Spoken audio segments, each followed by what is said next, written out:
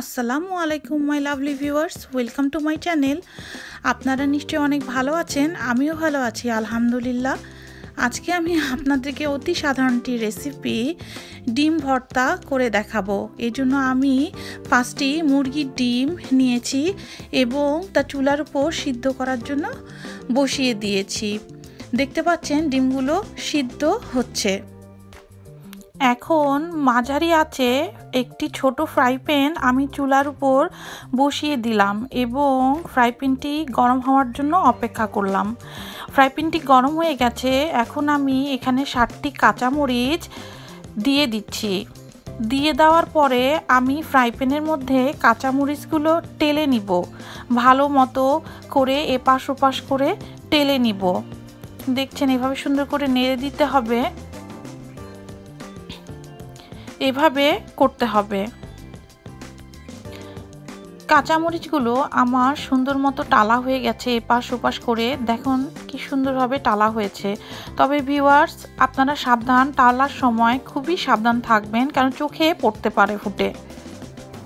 কাঁচামরিচগুলোকে আমি একটি বাটির মধ্যে সুন্দর করে তুলে রাখলাম। এখন আপনারা দেখতে পাচ্ছেন ডিমগুলোকে আমি খোসা ছড়িয়ে সুন্দর মতো নিয়েছি।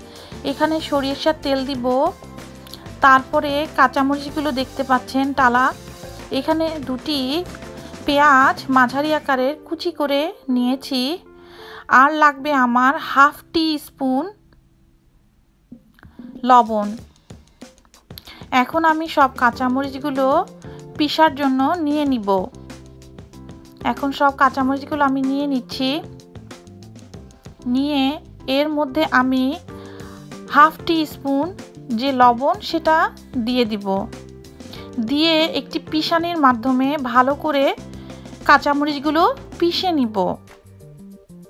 এভাবে ডলে ডলে পিষে নিব। এখন কাঁচামরিচ পেশা হয়ে গেছে। এর মধ্যে আমি সব পেঁয়াজগুলো আস্তে আস্তে করে সুন্দর মতো পিষে নিব।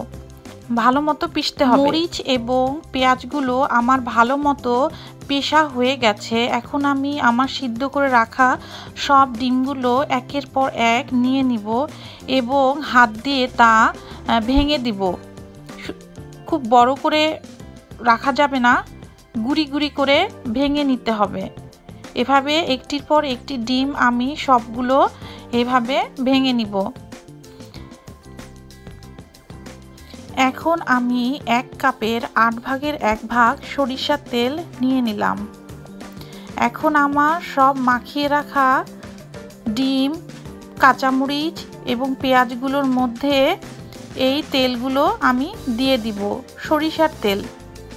তারপরে ভালো মতো এটিকে মাখিয়ে নিতে হবে। হাত দিয়ে সুন্দর মতো মেখে নিতে হবে। এই তো হয়ে গেল আমার ডিমের ভর্তা, যা আমি গরম ভাতের সাথে পরিবেশন করব।